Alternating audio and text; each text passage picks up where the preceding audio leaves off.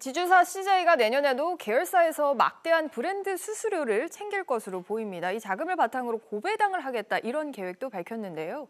대부분은 오너 일가가 챙겨갈 것으로 예상이 됩니다. 장지영 기자. 네, 장지연입니다. 뭐 우선 CJ가 챙기게 될 브랜드 수수료 총 규모는 얼마나 됩니까?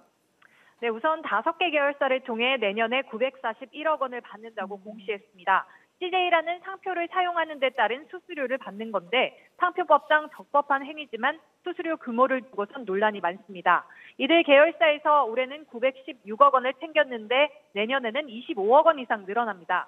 제일제당이 340억 원으로 동일했고 대한통운이 338억 원으로 44억 원 늘었습니다. 브랜드 수수료 매출은 지주사 CJ 매출의 절반 이상을 차지하는데요.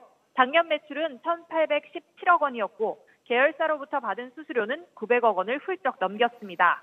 네, 그런데 뭐 이런 와중에 사실 시점이 좀 공교롭습니다. 지주사, 지주사 CJ가 또 고배당 정책을 발표를 했다고요. 네, CJ는 2020년부터 2022년까지 별도 재무제표 기준 당기 순이익의 70% 이상을 배당하겠다는 정책을 발표했습니다. 앞서 2019년에도 당기 순이익이 632억 원이었는데 98%에 해당하는 621억 원을 배당해 왔습니다. 이렇게 높은 배당 정책으로 오너일가가 챙기는 돈도 두둑한데요. 지주사 시대인은 이재현 회장이 보통주 기준 42.7% 지분을 갖고 있고 우선주를 기준으로는 그의 자녀인 이경호 부사장 대우가 22.4%, 이선호 부장이 22.5%를 각각 보유하고 있습니다. 특히 우선주는 보통주보다 일반적으로 주당 배당금이 더 많습니다. 이에 따라 고 배당을 통해 오너일가가 승계 자금을 마련하는 게 아니냐는 분석이 나옵니다. SBS CNBC 장지연입니다.